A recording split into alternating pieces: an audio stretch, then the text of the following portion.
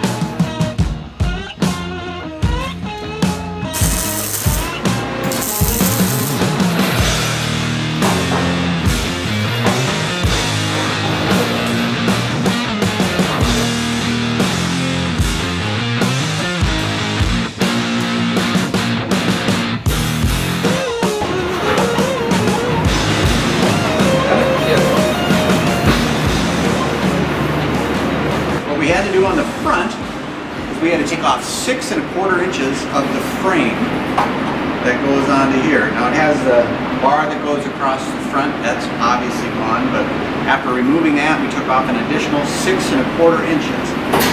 Then we're building a frame out of one inch by one inch um, tubing that you saw earlier that Zach is working on. That one inch by one inch tubing is actually going to get welded right to this. And then the stock 62 radiator support will mount to that.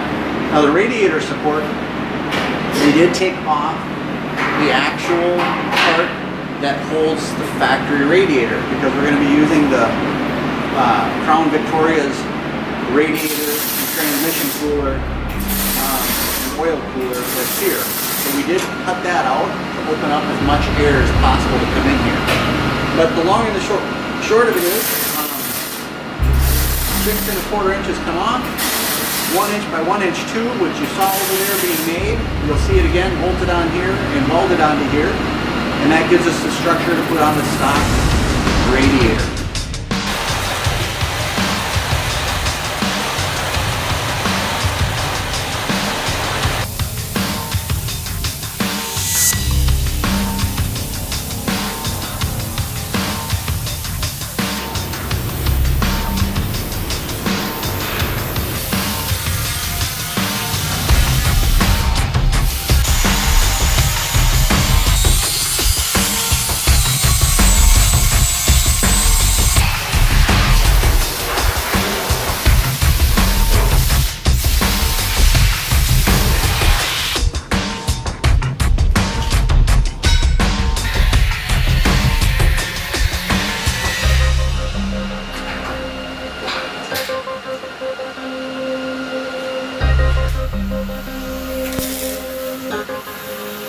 Here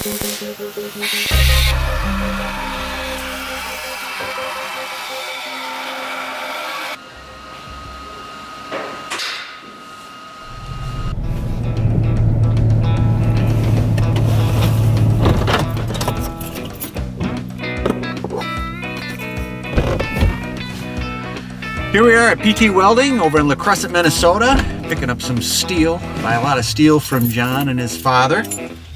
Gonna go in and pick up an order. Get a couple more last minute items.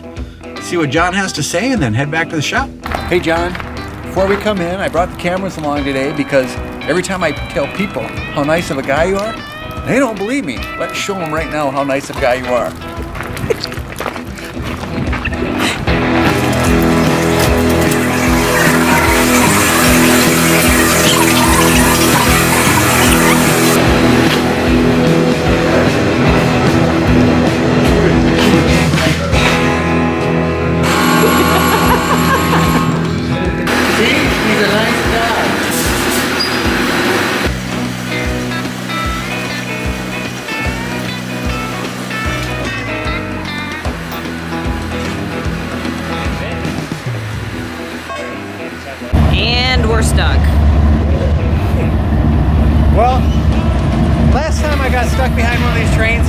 20 minutes, so sure I'm glad my wife is with. Just received today in the mail our paint.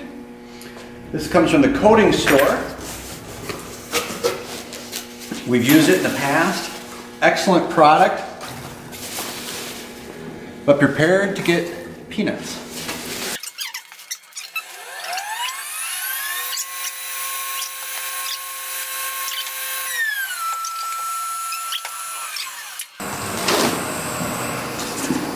More peanuts. More peanuts. Now that we have one box open, that's where we can put them. What's really cool about the coating store is, well, I suppose it's just like everybody else. They do include in every shipment a data sheet on each and every product.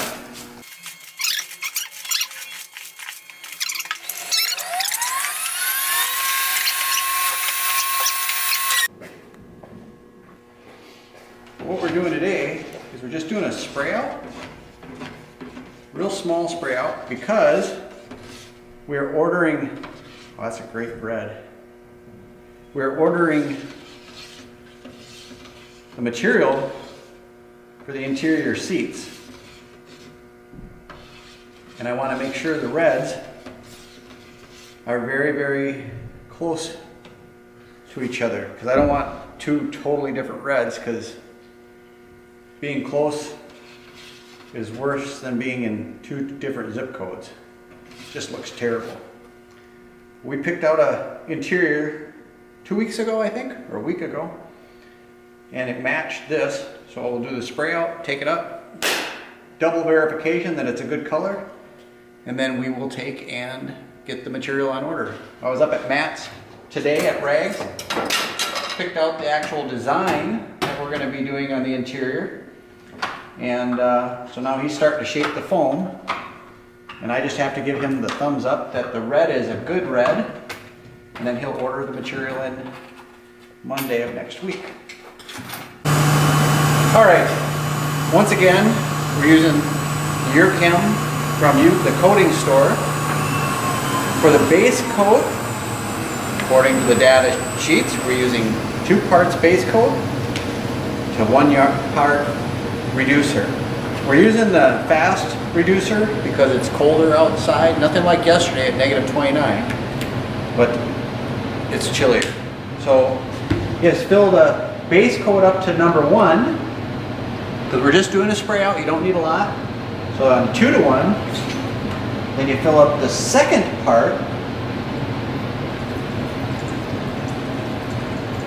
up to the number one there. That's all there is to it. Then you stir it really well, and then we'll put that in the paint gun, and we will do our spray out. Now the spray out goes on a card like this, black and white, and you keep going, even coats, and so like this color is probably going to take three coats. So the red, you don't see any white on this side or the letters, and on this side you don't see any black. You want an even color. So then you know how many coats of the base coat it's going to take to cover up everything evenly. So in the white and the black, you don't see a variation line right there any longer. When that's done, you know you have enough coats. So that's what our goal is today. Find out how many coats of paint it takes to give us an even color and then do the color match on the interior that we're going to order on Monday. All right?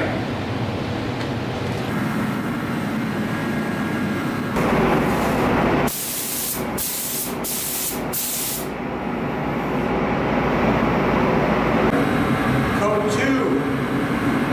See how it turns out?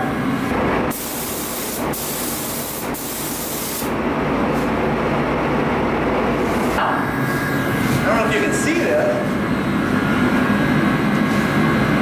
but you can see the line between the white and the black. You still see a definition line there.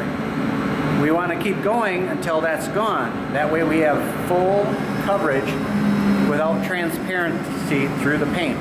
Okay, we're on coat number three.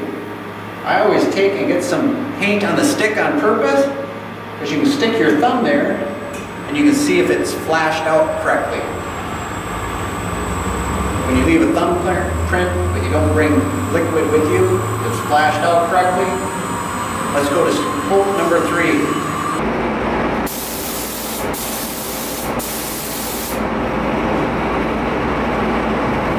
Three coats.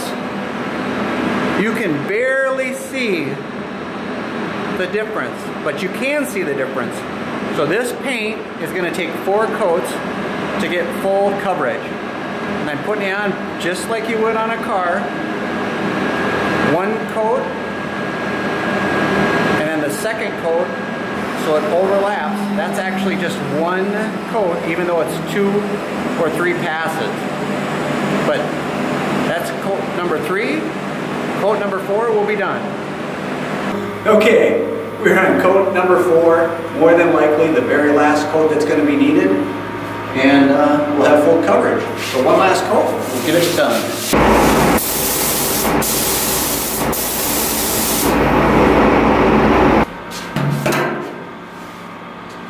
Okay, so four coats of paint, we have full coverage. You no longer see the difference between the black side and the white side. You don't see the writing up there.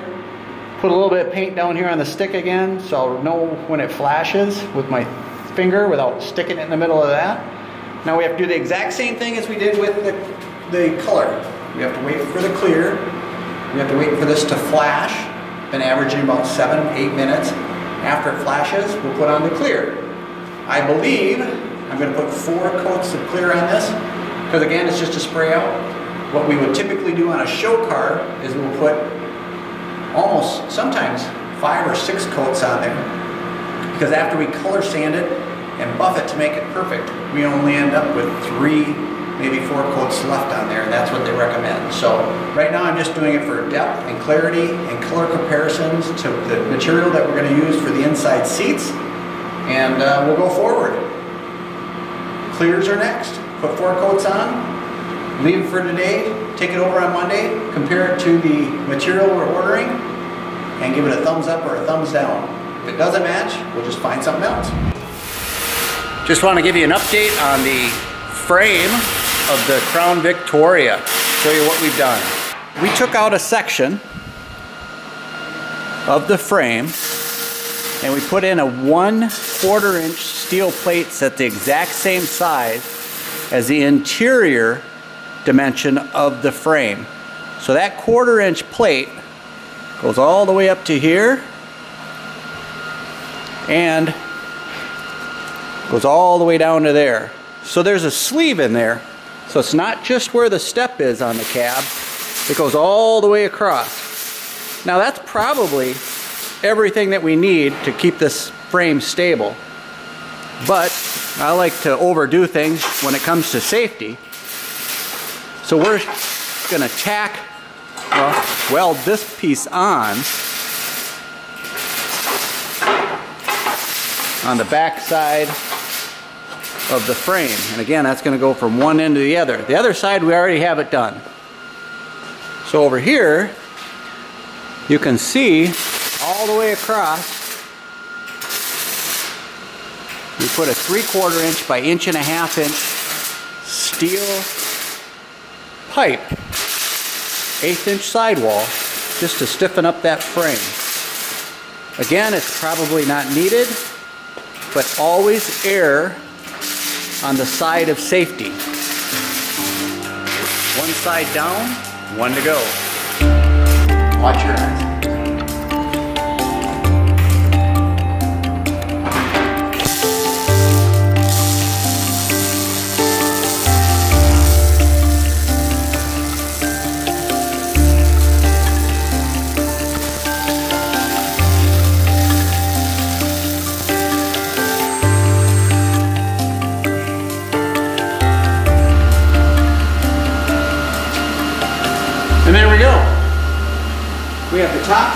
Completely welded and solid weld. I'll do down each side and underneath. And that will be better than what this was when it was new. Should be nice and stiff, nice and safe. This part of the frame is definitely tied into the front part of the frame. Again, the quarter inch steel goes all the way back to here, all the way into the front. This thing is really tied together. I'm not even worried about any more going down the road. So If you're gonna do this at home, where you take out the step area like what we did, please go overboard on the structural stability, err on the safe side, make it stronger when it needs to be, versus just chancing it. All right? Again, Chris, with Legendary Customs. Hope you're learning step by step by what we're going for. And uh, we, we take something that's pretty ordinary and make it legendary. Stay tuned for more. Remember, like us on our Facebook page, follow us on our YouTube channel, and follow us on the Instagram. All right? Take it easy. Appreciate it.